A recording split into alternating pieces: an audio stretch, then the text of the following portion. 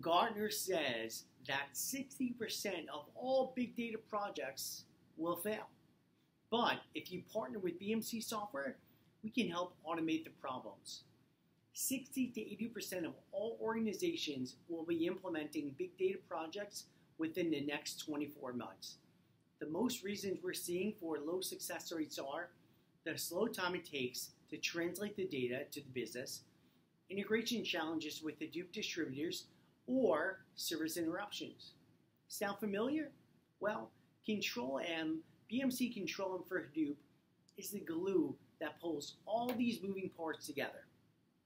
It integrates with Hadoop distributors, automates critical big data workflows, accelerates troubleshooting, and keeps your SLAs in compliance.